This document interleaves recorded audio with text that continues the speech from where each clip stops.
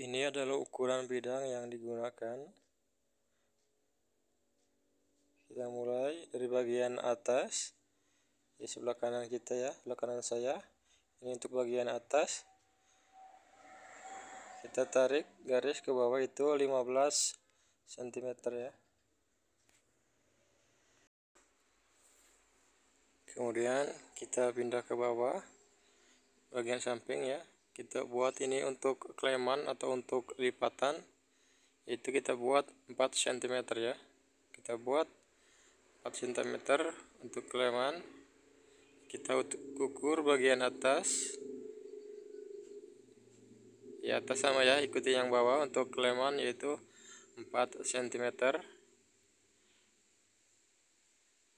untuk kleman kita buat 4 cm selanjutnya kita ukur untuk lipatannya itu 20 cm dan kita berjarak 3 cm jadi ukurannya 23 cm ya. Untuk lipatan itu 20 cm kemudian 3 cm terus sampai ujung ya. 20 cm 3 cm ya 20 cm 3 cm kemudian 20 cm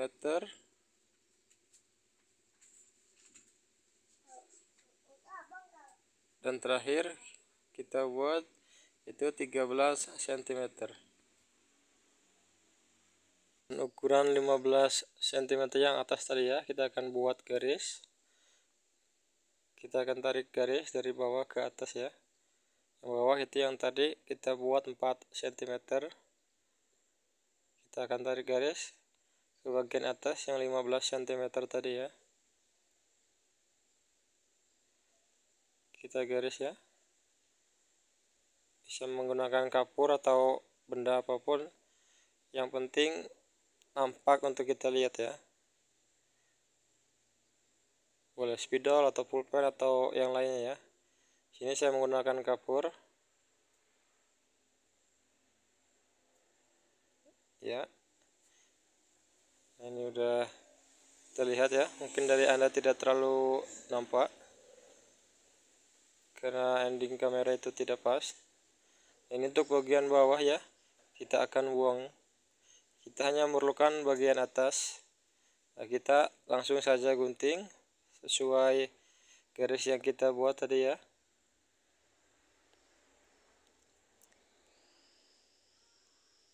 Langsung saja kita gunting ikuti garis yang ada ya.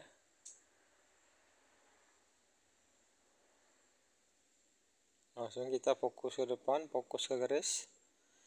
Kita gunting. Itu yang bagian saya lipat itu ya bahan yang saya lipat itu itu yang tidak terpakai ya. Kita hanya memerlukan bagian atas bahan bagian atas ya. Bagian bawah kita tidak memerlukan. Bisa nanti kita buang atau kita manfaatkan untuk yang lain ya. Ya kita gunting lurus ikuti garis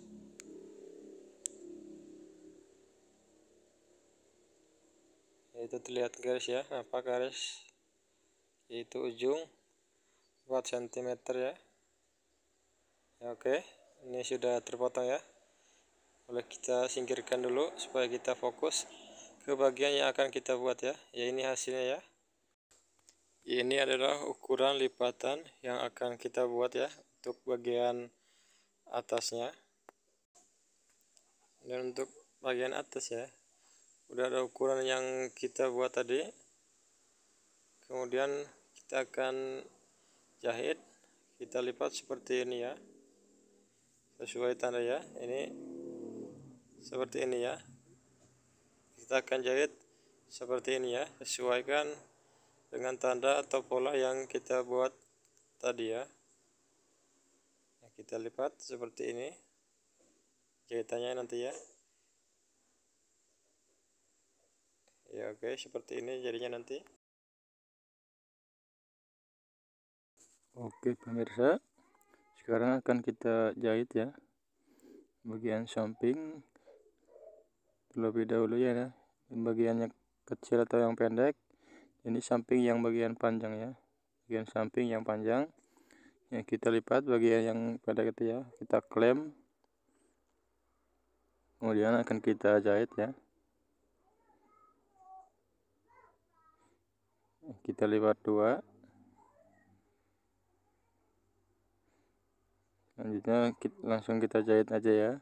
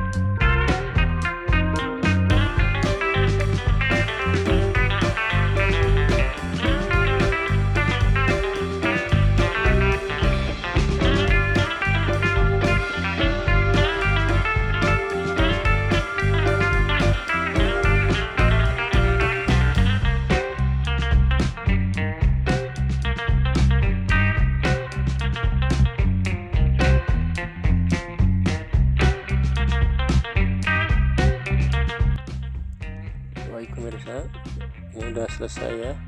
Kita udah selesai lipat bagian samping kiri dan kanannya udah kita lipat. Selanjutnya ini untuk bagian yang miring ya. Nah, bagian miring atau bagian yang bawah itu akan kita pasang renda.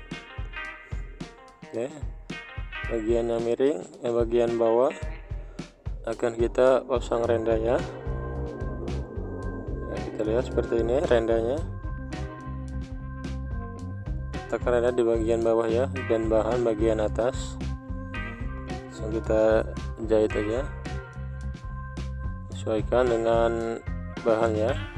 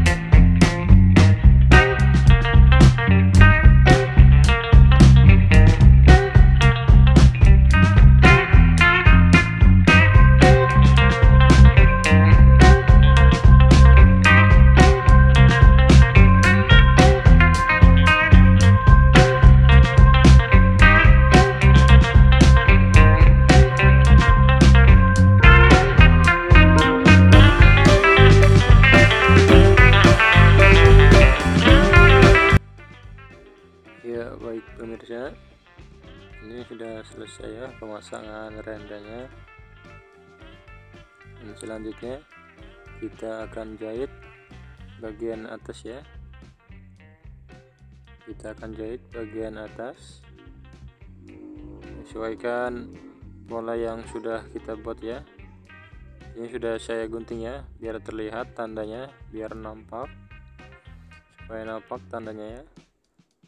Kita lipat tanda yang pertama ya tanda yang pertama itu yang depan untuk kita lipat. Kemudian kita satukan ya dengan yang di depan.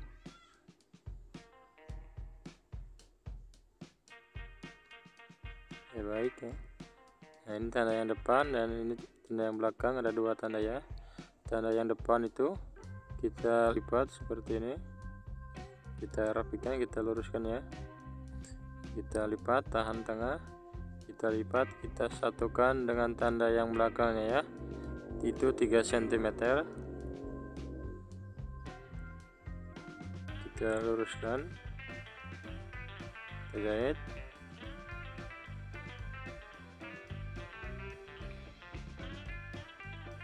oke. Ambil tanda lagi bagian depannya. Kita lipat. Kita tempelkan dengan tanda yang di belakangnya tanda yang 3 cm ya. Itu tanda jaraknya 3 cm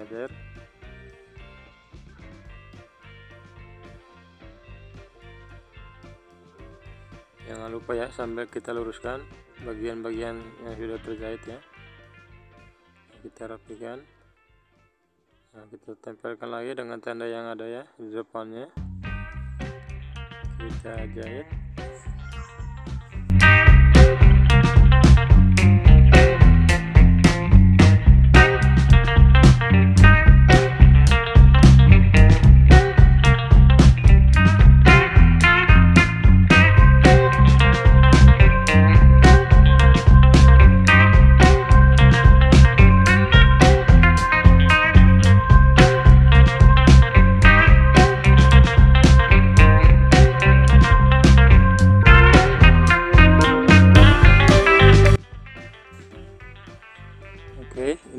selesai dijahit ya. Selesai jahit bagian lipatan atasnya. Sekarang akan kita lihat seperti apa hasilnya ya. Ini ini hasilnya pemirsa ya. Kita rapikan terlebih dahulu. Oke, baik pemirsa. Ini hasilnya kuping gorden sebelah kiri ya. Oke tonton terus video-video dari Jerry Gordon. Jangan lupa subscribe. Salam Jerry Gordon